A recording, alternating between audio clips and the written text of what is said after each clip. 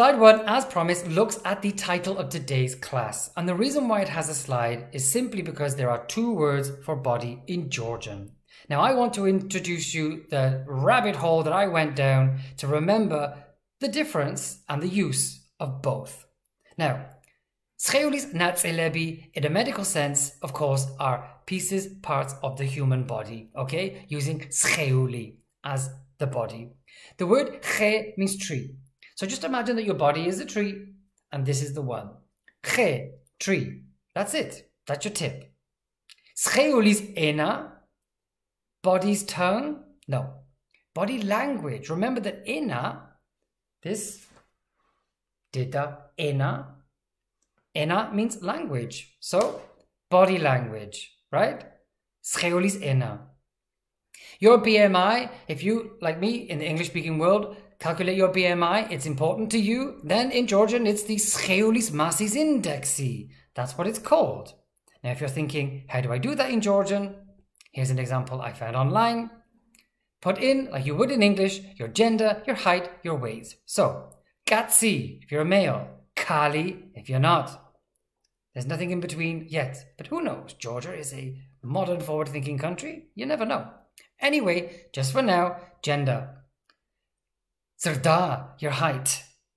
That's my height. Tsona, your weight. That's my weight. And then gamotsvla, calculate. With this information, you can calculate your BMI in Georgian. And it's your Scheolis Masses Indexi.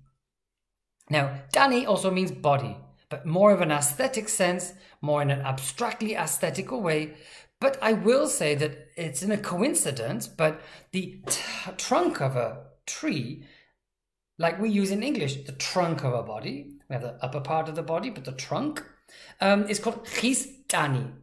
Literally, it is the trunk of the tree, it's the body of the tree.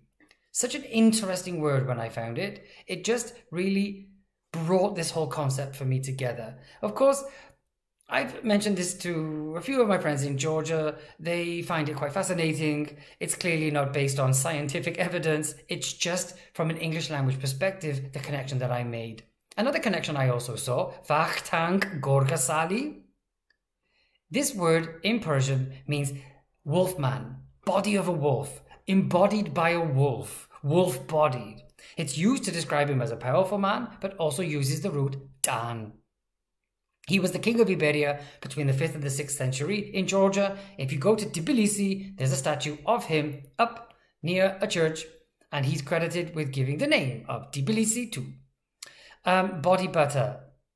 If you go to the UK, you know what this is. Not Scheolis Karaki. That sounds creepy. Tani's Karaki is an aesthetic product. It smells nice. You can buy it in a beauty shop. Sexuality Dani. Hot body, nice, fit, healthy person. Probably a person that looks after their scheolis masses indexi too. But you wouldn't say sexuality scheoli. That again gets into that creepy zone. It's almost like you're in the morgue and you're looking at it from an anatomical sort of way. Sexuality Dani. Now, of course, I like to reference Iakob Gogebashvili, Deda Ena, language, Scheulis Ena, body language. Now, one of his texts, there's another book actually I quite like. This is that one I'm just showing you for reference, but this is my old school one, which I love. And this text that I want to recommend is called Scheulis Natsilebis Chubi. Now, this text, according to Iakob Gogebashvili, Iakob Gogebashvili's ტექსტის მიხედვით სხეულის ნაწილების ჩხუბი. It is a weird text, an argument between the body parts. It's online. There's also a video on YouTube, not by me, that if you want to practice the parts of the body after this class, then perhaps that's just an introduction and a reference to Iakob Gogebashvili's work and just an extension of today's class, if you want.